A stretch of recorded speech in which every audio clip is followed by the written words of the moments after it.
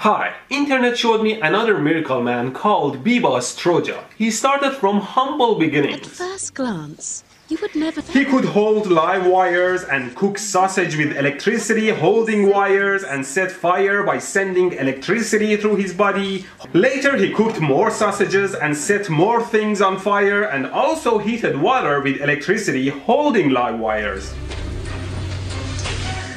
But then he started showing how he could turn a lamp on with electricity generated through his body. And then he got into healing people with electricity. Oh, for f- sakes!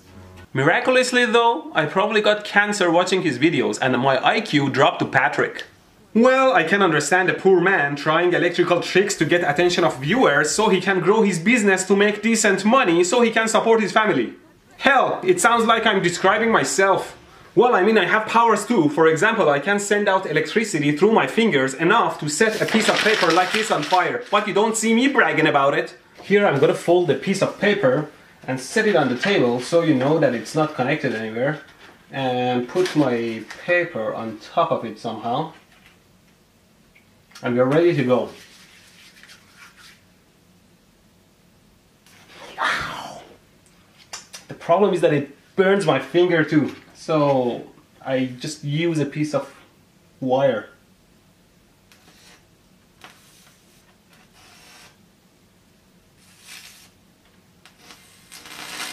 I give this guy two things only. First, he has a skin as dry as a camel knees, and second, he has knowledge of electronics. Fortunately, this time Dan Smith did a better job having an actual professional check Biba, and he realized very little current of around 2 milliamps runs through Biba's body, and his skin is very dry and high resistance. I have friends that sweat drips from their fingers and some that are very dry. I have normal skin and can also tolerate 2 milliamps through my body. But the difference between me and Biba is that because of my lower resistance skin, around 60 volt AC creates 2 milliamps through my body. But around 220 volt AC creates the same current through Biba's body. Which means that I can't tolerate voltages as high as Biba can. Now, as soon as you leave Dan alone to judge, he screws right up. From this with 220 volts of current flowing through these nails. What? 220 volts of current? it's like saying one light year of time. you know, light year is a unit of distance, right? Now Biba's going to attempt to do something I've never heard of. Actually use the current running through his body to boil water in his hand. Oh, come on, man. He is parallel to those metal bars, not series. There is no extra current running through his body. He is just holding live wires like before. Anyways, let's do some experiments. Very dangerous, never try this yourself. I'm gonna check my body with my auto transformer, which is basically a variable transformer that can reduce AC on its output. If you're interested, I've got this and many of my other tools from circuit specialists as usual. They are pretty good. Every time I need something for my videos, I just go online and realize, yup, they've got it, I guess I'll get it. Now to check my body tolerance, I set the output to minimum. At zero volts, it's pretty... Oh, I set it to maximum. It's the other way. It would definitely help if you measure the voltage you are about to touch and not assume its level. Now I'm going to put my one hand fingers on the live wires and increase the voltage until I feel it in my fingers.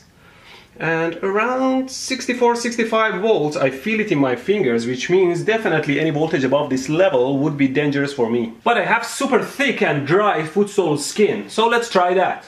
So here I just step on the live wires and start increasing their voltage. Well, look at that. I start to feel them around 145 volts. So skin condition is very important, but you must never assume you're immune, otherwise it could be your last mistake. I can still do Biba's tricks with the 120 volt DC from my 9 volt batteries. Cooking sausage you say? You got it. I hooked my forks to the batteries and I don't feel the voltage much because it's DC. Now let's see if I can cook this. Wow, look at this. It's definitely cooking, but there is orange water coming out of one side and green water coming out of the other side. I would definitely not eat it. Passing electricity through food changes its chemistry. It touches live wires, no problem. I have two metal pieces in my power bar and I turn it on. I can easily touch those lines and I can even turn a light on holding those wires.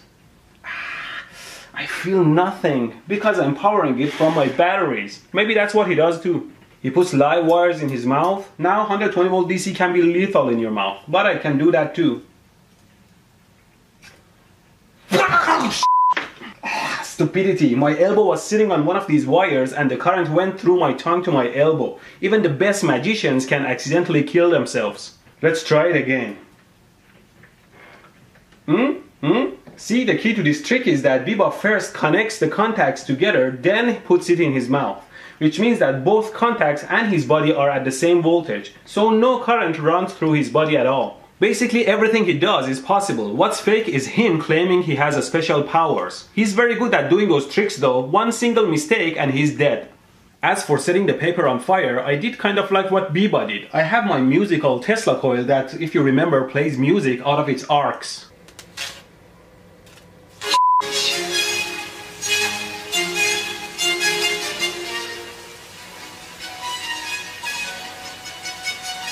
It is set up such that it's not arcing, but it's radiating energy to the environment. And I taped a piece of foil behind my paper.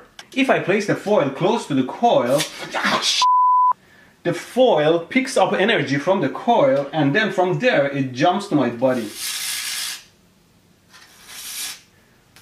These arcs are very high frequency current though, so due to something called the conductor skin effect, they run over the skin and burn. Now something none of those hosts figured was that the arcs jumping from Biba's body to that metal rod is actually going inside their own bodies and they don't feel it either. Come on, make that brain work a bit. Giveaway time! An electronic enthusiast without an oscilloscope is like, Whatever man, I mean you need an oscilloscope to really feel the circuit. That's why I'm gonna give away three scopes to my patrons at patreon.com. And if you support my channel, I'll be your Robin Hood too. And bring you free stuff from big corporates. So thanks for your support.